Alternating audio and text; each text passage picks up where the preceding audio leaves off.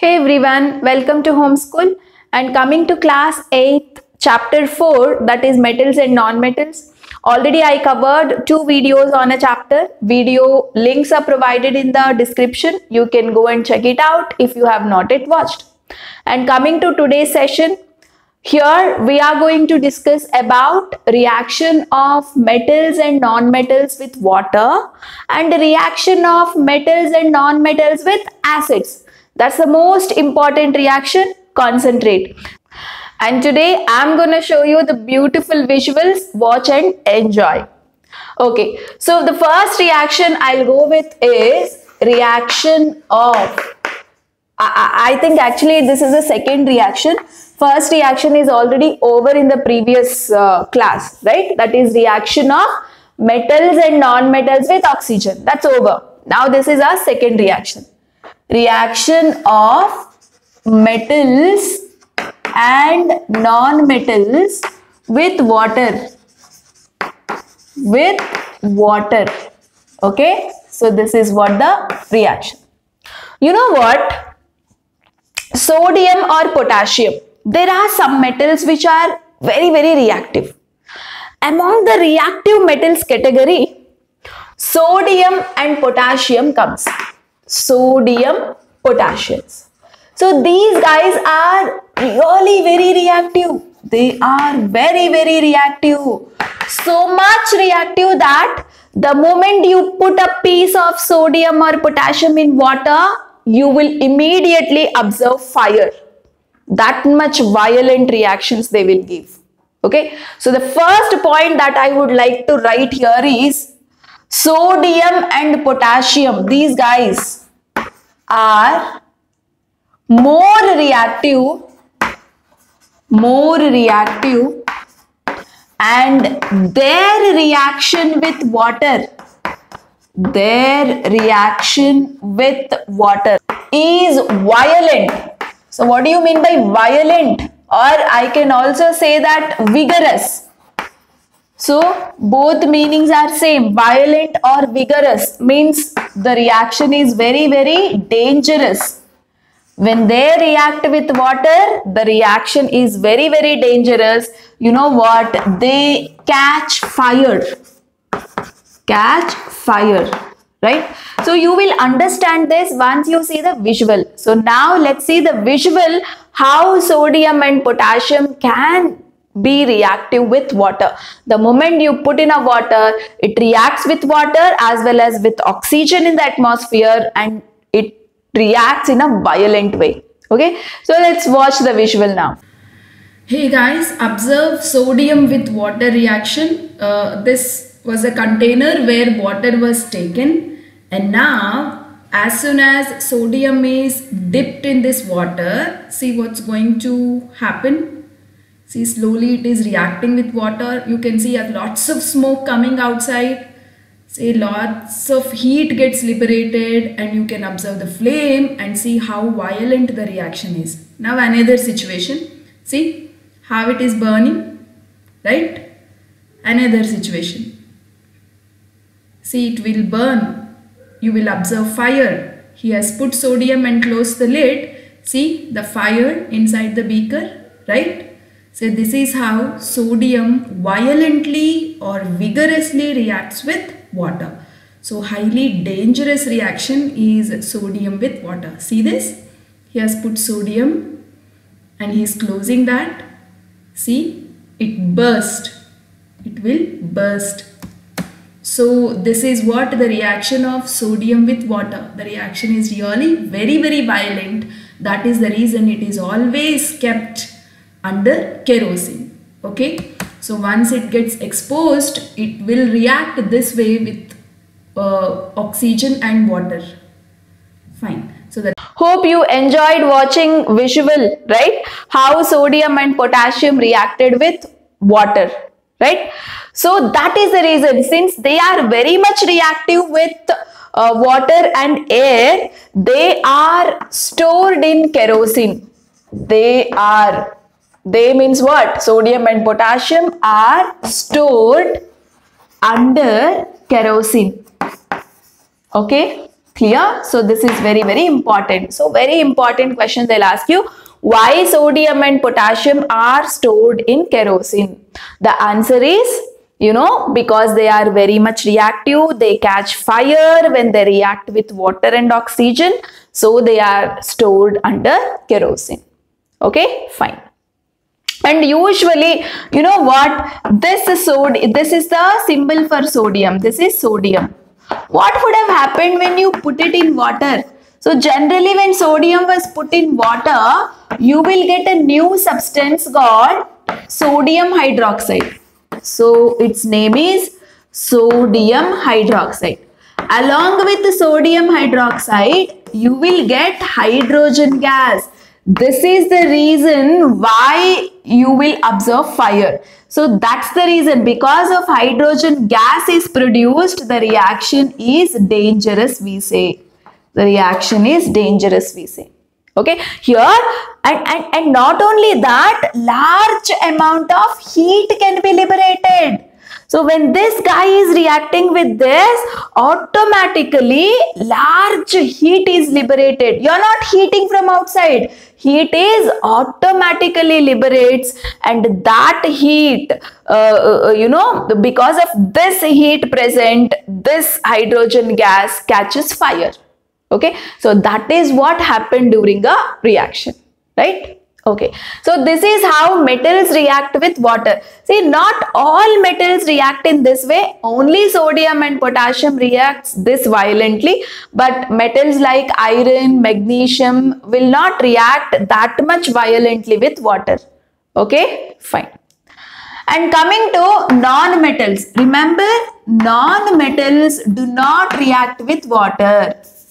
So this sentence is very important to understand non-metals do not react with water. Okay. But even some non-metals are very dangerous. Non-metals like phosphorus. Phosphorus is there, no? Phosphorus violently reacts with air. Violently reacts with air. Okay, that means it will catch fire when it reacts with air, it will catch fire. That's the reason this phosphorus is always stored in water. Okay. So, uh, the pure phosphorus when you exposed to atmosphere, it may violently, very dangerously can react with air catching fire. So, it is always stored in water okay? But generally non-metals do not react with water. Only metals can react with water. And few react very very violently like sodium and potassium. And few metals like iron okay? Uh, magnesium you know? These metals do not they, they react with water but their reaction is not violent. Okay not violent in the sense uh, it's not that dangerous like you have observed with sodium right? So this is all about reaction of metals and non-metals with water. And now we will learn about reaction of metals with acids. So that is also beautiful uh, uh, reaction. One must understand it carefully okay? See guys reaction of metals and non-metals with acids. See, generally non-metals, okay, remember a point that non-metals generally do not react with acids. Do not react with acids. Okay. So, you all know some general acids, right? So, acids, can you give some examples of acids? Hydrochloric acid, HCl is there. What do you mean by HCl? hydrochloric acid right? And we have another important acid called H2SO4 we call this as sulfuric acid. So there are many acids but I am just mentioning you uh, the common acids that we use it in a chemistry labs that is HCl and H2SO4 right? So with those acids normally our non-metals do not react. But metals react with acids. Metals react with acids. This is very, very important. And how do they react with acids? How they react with acids? Observe. Any metal, any metal you take, you can take uh, iron, zinc, aluminium, magnesium, sodium, potassium, calcium, any metal. Okay. So any metal, when it reacts with acid, okay what you will get is some salt plus hydrogen gas. Some salt and hydrogen gas you will get. Okay for example example i'm showing you the example. Zinc this is called as zinc. Zinc is a metal. And example for acid let me take HCl okay so when zinc reacts with HCl you will get ZnCl2. This is zinc chloride. You will call this as zinc chloride. You know what? How to write formulas for chemical compounds is what you will learn it in next year. That is in class 9. Okay, so now no need to worry. Only few chemical reactions are there. That if you can remember, it's enough. So how did I write ZnCl2? You know, the logic behind this, you will learn in class 9 okay? So this is called as zinc chloride. And you know this is one of the variety of salt. Salt means it is not always NaCl there are so many types of salts. So this is also comes under salt category. Okay? So along with this you will observe hydrogen gas. What is this? Hydrogen gas. Okay? Fine. So any metal when reacts with acid some salt and hydrogen gas is formed. And now, how do you know that this is hydrogen gas? Right? Say gas will not have any color. Right? Say, uh, for example, imagine I have zinc granules. Zinc is a solid available in small, small beads. I took zinc beads and I added acid okay so you you will immediately observe some gas coming outside but how do you prove that this is hydrogen gas? When you keep burning candle, right? When burning candle is kept near hydrogen gas, it burns with pop sound. It burns with pop sound. Pop means what? Pat, pat, pat sound. Okay. So that is what we mean by pop sound right? So uh, to confirm whether this is hydrogen gas or not, I'll keep a burning candle. So this burns with put sound.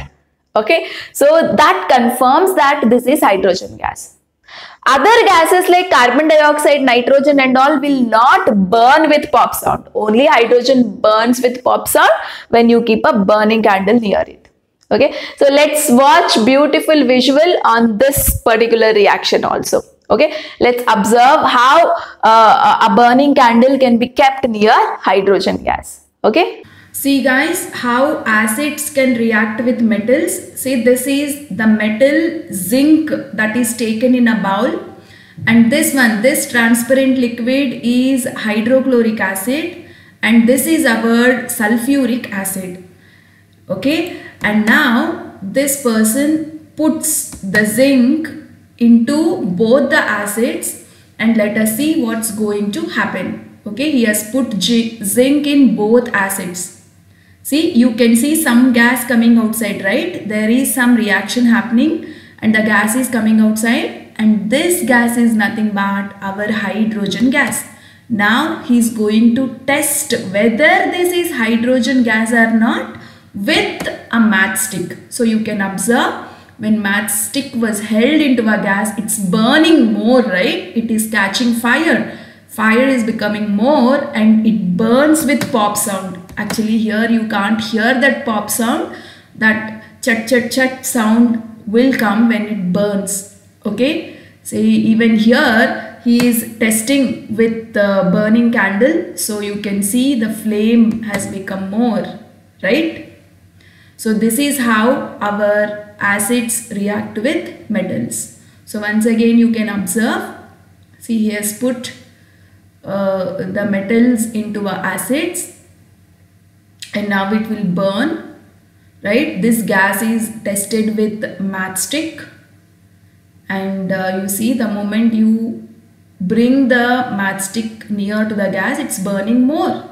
With pop sound it will burn so that's how this this indicates that the gas coming outside is hydrogen gas so that's all about acids reacting with metals See guys, that is all about reaction of metals and non-metals with acids, right? So in my next class, let us learn about very very important type of reaction called displacement reaction.